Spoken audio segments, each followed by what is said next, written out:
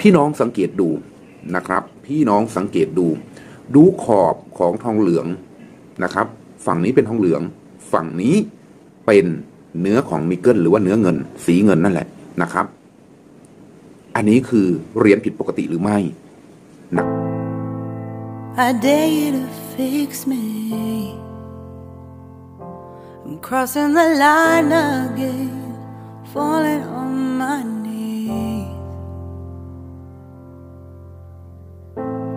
No stranger to pain, it's never ending. It's only something I can't forget. My heart won't สวัสดีครับเพื่อนเพื่อนพี่พี่ลุงป้าอามิตรรักนักสะสมเหรียญเก่าแบงค์เก่านะครับ เอาละสิวันนี้นะครับ มีเหรียญสวยๆ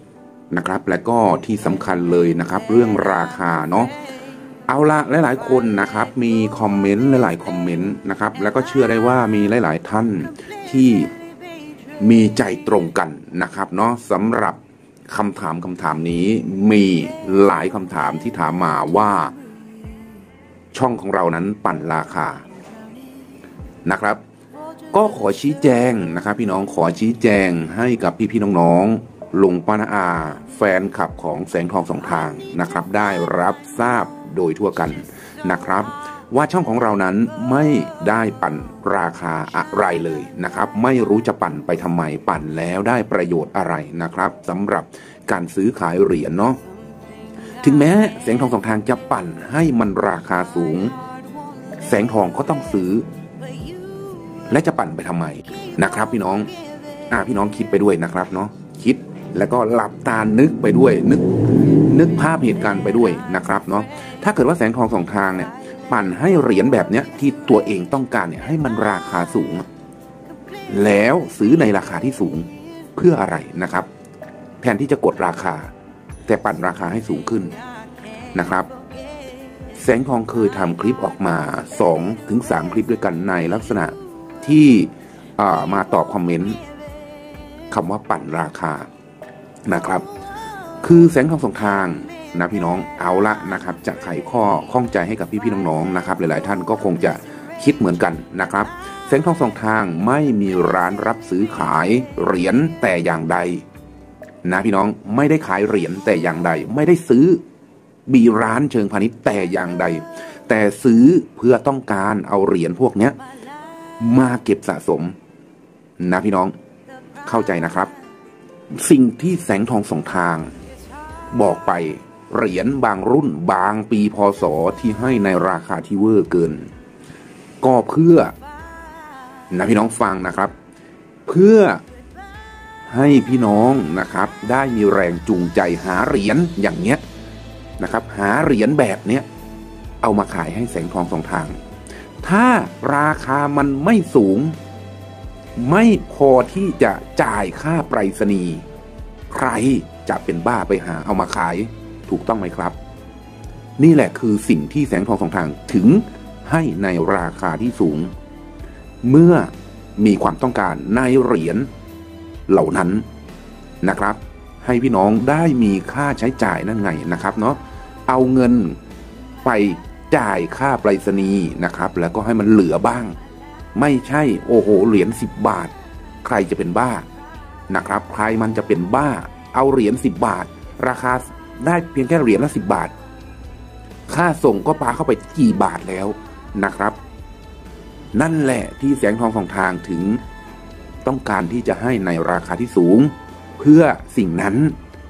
นะครับ หวังว่าทุกท่านคงจะเข้าใจ แสงทองไม่มีร้าน ขายเหรียญแต่อย่างใด ถ้าราคาเหรียญมันสูงขึ้น คนที่เขาขายเหรียญควรจะขอบคุณแสงทองอีกด้วยซ้ำนะครับ แต่คนที่ซื้ออาจจะโวยแสงทอง เป็นปกติฮ้ยมันทำให้เหรียญราคาสูงขึ้น พี่น้องลองคิดย้อนกลับไปดู พี่น้องเป็นคนขายเหรียญแต่แสงทองสองทางทำให้ราคาเหรียญมันสูงขึ้น มันดีหรือมันไม่ดีนะครับ การเก็บสะสมเราหาได้ในระบบหมุนเวียนนะครับ ยานะครับ แสงทองสองทางเคยพูดไว้ ยาไม่จำเป็น ต้องไปซื้อเหรียญราคาสูงๆเอามาไว้เพื่อการเก็งกำไร ถ้าเกิดว่าพี่น้องเอามาเก็บเพื่อความรักความชอบ หรือเอามาไว้เพื่ออนาคตข้างหน้าก็โอเคนะครับไม่ซีเรียสกับการใช้จ่ายค่าใช้จ่ายแต่อย่างใดนั้นก็โอเคนะครับ จะซื้อเหรียญสูงๆราคาสูงๆเอามาเก็บไว้ก็ไม่เป็นไรนะครับ แต่ถ้าเกิดเมื่อไหร่แล้วท่านซื้อเหรียญตัวเนี้ยในราคาสูงๆเอามาไว้ ก็งกำไร ขายเอากำไร คิดผิดนะครับ แต่ถ้าเก็บเอาไปไว้ เออ ในอีกห้าปีสิบปีข้างหน้า มันอาจจะมีราคาที่สูงขึ้น อ่า ถ้าเกิดว่าเก็บเพื่อความรักความชอบ เก็บเพื่อที่จะเป็นมรดกตกทอดอันนั้นก็ทำไปเถอะนะครับ หรือว่าเก็บเพื่อความสุขของตัวเองก็ไม่มีใครว่านะครับ เอาละมาบ่นให้ฟังแค่นี้นะครับ เรามาที่เหรียญของเรา เหรียญ10 บาทนะครับที่ผลิตมาตั้งแต่ปีพุทธศักราช 2531 จนถึงปีพุทธศักราช 2551 รวมทั้งสิ้น 21 ปีพศด้วยกันนะครับบางปีพศผลิตมาเพียงแค่ไม่กี่เหรียญนะครับเพียงแค่ร้อยเหรียญบางปีพศผลิตออกมาถึง 170 กว่าเหรียญเฮ้ยไม่ใช่ 170 กว่าล้านเหรียญนะครับพี่น้อง คิดดูแล้วกันนะครับ ราคานั้นมันก็จะมีความที่แตกต่างกันออกไป ถ้าผลิตน้อย ราคาการประเมินก็จะสูงขึ้น ราคาการซื้อขายก็จะสูงขึ้น ถ้าผลิตเยอะราคาการประเมินมันก็ต่ำราคาการซื้อขายก็ต่ำลงหรืออาจจะมีราคาเพียงแค่หน้าเหรียญเท่านั้นเอง ส่วนเหรียญปีพศที่ท่านกำลังเห็นอยู่นี้นะครับ ไม่รู้ว่าเป็นปีอะไรเรามาดูกัน พี่น้องสังเกตดูนะครับ พี่น้องสังเกตดู ดูขอบของทองเหลืองนะครับ ฝั่งนี้เป็นทองเหลือง ฝั่งนี้เป็นเนื้อของนิกเกิลหรือว่าเนื้อเงิน สีเงินนั่นแหละนะครับ อันนี้คือเหรียญผิดปกติหรือไม่นะครับ และมันมีราคาสูงขนาดไหน เดี๋ยวเรามาพูดกันนะครับ พี่น้อง ส่วนวงขอบเป็นเฟืองสลับเรียบนะครับ ส่วนด้านหลังนะครับ พี่น้องฝั่งนี้ก็ยังเป็น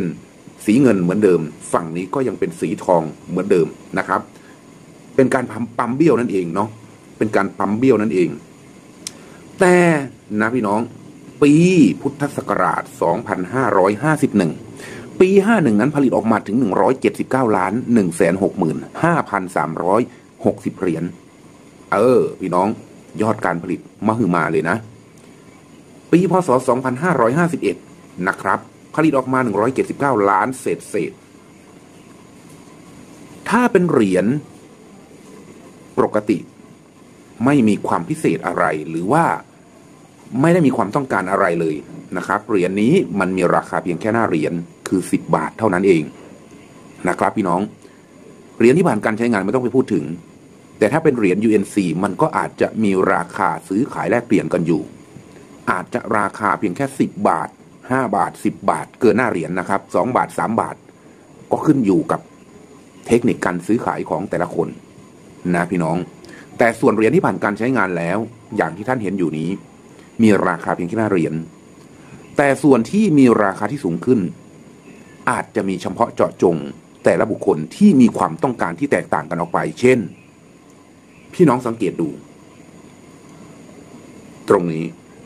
นะครับ ก็จะมีนักสะสมบางท่านมีความต้องการในลักษณะแบบนี้ นั่นคือเหรียญเนื้อเกินนะครับ ก็เป็นเศษทองเหลือง หรือว่าเศษเงินอะไรต่างๆนี่แหละนะครับ ที่เขาปั๊มปั๊มปั๊มปั๊มแล้วมันอาจจะพอกพูนหรือว่าสะสมกับแม่แบบแม่พิมพ์นะครับ เวลาปั๊มลงไปปั๊บมันก็จะติดเป็นก้อน หรือไม่อาจจะเป็นที่แม่แบบแม่พิมพ์ ตรงจุดนี้ของเขามันมันวิ่นนะครับ มันบินนั่นเองเนาะจึงทำให้มีหลุมลงไปในแม่แบบแม่พิมพ์ปั๊มลงมา จึงมีเนื้อที่มันปลิ้นออกมานั่นเองนะครับ เป็นลักษณะเนื้อเกิน อ่าเดี๋ยวเราค่อยมาพูดถึงไอ้ไอ้ปั๊มเบี้ยวนะครับ ส่วนด้านหลังนะครับ พี่น้องด้านหลังพี่น้องก็ดูตรงนี้ อันนี้นะครับหลายๆคนเรียกว่าเหรียญเรือนะครับ จะเป็นเรืออะไรก็ช่างนะพี่น้อง บางคนแค่นี้ก็บอกว่าเรือเหรอนะครับ บางคนนะครับเข้ามาคอมเมนต์อย่างนี้ก็เรียกว่าเหรียญเรือเหรอนะครับ มันขึ้นอยู่กับภาษาคนเรียกนะพี่น้อง บางคนก็เรียกว่าเหรียญเรือ บางคนก็เรียกว่า เหรียญเออและคอย บางคนก็เรียกว่าเหรียญอะไรอะเยอะแยะมากมายแล้วแต่ว่าจะเรียกกันไปเรียกขานกันไปเนาะพี่น้อง อ่า แล้วแต่ศัพท์ของแต่ละคนนั่นเองเนาะอยากจะเรียกยังไงก็ขึ้นอยู่กับความพอใจเนาะเหมือนกับราคาเหรียญนั่นแหละนะพี่น้อง เอาละถ้าเป็นเหรียญปกตินะครับ ปีพศ 2551 ไม่มีราคา นะพี่น้องไม่มีราคาขอย้ำ ส่วนเหรียญที่ท่านกำลังเห็นอยู่นี้นะครับ ถ้าเป็นช่องของเรา แบบนี้ ด้านหัว แบบนี้ ด้านก้อยหรืออาจจะมากกว่านะครับ ปีพศ 2551 แสงทองสองทางตั้งราคาไว้ให้ที่ 120 บาทต่อเหรียญ120 บาทต่อเหรียญคือราคาแม็กสุด ส่วนราคาต่ำสุดนั้นอยู่ที่ 60 บาทนะครับ เข้าใจตรงกันนะครับ คือแสงทองสองทางก็ต้องการเหรียญที่เป็นที่มันมีความพิเศษที่มันมีความสวยงามโดดเด่น เรื่องใดเรื่องหนึ่ง ถ้าเกิดว่านะครับเหรียญเหรียญปีพศใดก็ช่างที่ราคาการประเมิน UNC ตั้งแต่ 300 บาทลงมานะครับ ราคา UNC ตั้งแต่ 300 บาทลงมา ขอให้มีความสวยงาม ความโดดเด่น แสงทองสองทางยินดีรับ แต่ถ้าเหรียญที่มีราคาการประเมินตั้งแต่ 400 บาทขึ้นไป แสงทองสองทาง ยินดีรับในเหรียญที่เป็นปกตินะครับ ส่วนราคานั้นขึ้นอยู่กับสภาพสภาพเหรียญของทุกทุกท่านนะครับ จะได้ราคาที่สูงหรือราคาที่ต่ำก็ขึ้นอยู่กับสภาพเหรียญนะพี่น้อง ส่วนการปั๊มเบี้ยวประมาณนี้นะครับ ปั๊มเบี้ยวประมาณนี้ ไม่มีราคานะพี่น้องไม่มีราคาแต่อย่างใด ราคามีเพียงแค่หน้าเหรียญเท่านั้นเองอะเราไปเหรียญที่สองกันเหรียญนี้นะครับก็เป็นเหรียญสิบบาทเหมือนกันนะครับ เป็นเหรียญสิบบาทรุ่นเก่าเนาะด้านหน้าไม่ต้องสาธยายนะครับ วงขอบไม่ต้องสาธยายส่วนด้านหลังนะครับ ด้านหลังกลางเหรียญนนั้นก็เหมือนกันนะครับ ปีพุทธศักราช 2543 นั่นเอง ปี 43 นี่แสงทองสองทางเคยประกาศรับซื้อออกไปนะครับ ปี 43 กับปี 45 เนาะส่วนปี 45 นั้นแสงทองสองทางขอความสวยงามจริง ๆนะครับ เพราะว่าอะไรเพราะว่าปี 45 นั้นเขาประเมิน UNC ที่ต่ำมากนะครับ อยู่ประมาณ 120 บาทต่อเหรียญส่วนปี 2543 นี้ ถือว่าผ่านเกณฑ์นะครับ ผ่านเกณฑ์คัดกรองนั่นเอง ถึงแม้จะไม่มีความพิเศษนะครับก็ขอให้มีความสวยงามก็พอ ดูเพียงแค่ปีพศนะครับปีพศ 2543 ผลิตออกมา1ล้าน6 6 6 6 0 0 เหรียญ UNC เขาประเมินอยู่ที่ 550 บาทนั่นเองนะครับ ส่วนราคานะพี่น้องราคานั้น ก็ขึ้นอยู่กับสภาพเหรียญทุกอย่างต้องดูสภาพนะพี่น้องไม่ใช่หลับหูหลับตา ซื้อมาเลยเคขาไปทั่วมันก็ไม่ใช่นะครับ ช่วงนี้ต่างคนก็ต่างรู้ดีว่าทุกคนก็ต้องประหยัด นะครับค่าใช้จ่ายอะไรต่างๆ มันก็สูงตาม แม้แต่ค่ากับข้าวค่าครองชีพต่างๆนะครับ มันก็สูงตามอ่านะครับ พี่น้องหวังว่าพี่น้องคงจะเข้าใจนะครับ จะควักเงินซื้ออะไรสักอย่างหนึ่งเราก็ต้องคิดว่ามันคุ้มกันหรือเปล่านะครับ มันก็อาจจะคุ้มในหลาย ๆ คนนะครับเนาะในความคิดของแต่ละคนมันไม่เหมือนกันนะครับ งทองสองทางก็สะสมเพื่อความรักความชอบ เพราะความรักความชอบ และก็อาจจะในอีกแง่หนึ่งก็คือเป็นมรดกตกทอดให้กับลูกหลานนั่นเองเนาะอ่าหลาย ๆ ท่านก็คงจะคิดเหมือนกับแสงทองสองทาง หลาย ๆ ท่านก็คิดว่าเฮ้ยเราซื้อมาก็ควรที่จะให้มันมีกำไรกลับไปนะครับ เพราะฉะนั้นคุณจะสะสมอะไรก็ตามนะครับ คุณก็ต้องมองถึงความเป็นจริงนะครับ สภาพคือสิ่งแรกที่คุณจะต้องดูนะครับ พี่น้องอ่าเหมือนกันนะครับ คุณภาพ นะครับ คุณจะซื้อของสักอย่างหนึ่งขอให้มันมีคุณภาพเถอะนะครับอ่ามันถึงจะเหมาะสมกับการที่เรายอมที่จะควักกระเป๋าซื้อ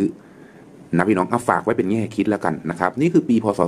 2543 นะครับ ขอให้มีสภาพที่สมบูรณ์และสวยงามส่วนราคาอยู่ที่สภาพเหรียญนนะครับ และอีกเหรียญสุดท้ายนะครับ พี่น้อง ด้านหน้าก็เหมือนกันเนาะไม่ต้องพูดถึงนะพี่น้อง ด้านหน้าไม่มีความพิเศษอะไร เหรียญนี้เหมือนกันกับเหรียญเมื่อสักครู่นะครับ ปีพศ 2536 ปี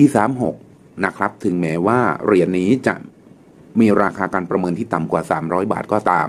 นะครับแสงทองสองทางก็มีความต้องการเช่นเดียวกันส่วนราคานะครับ ปีพศ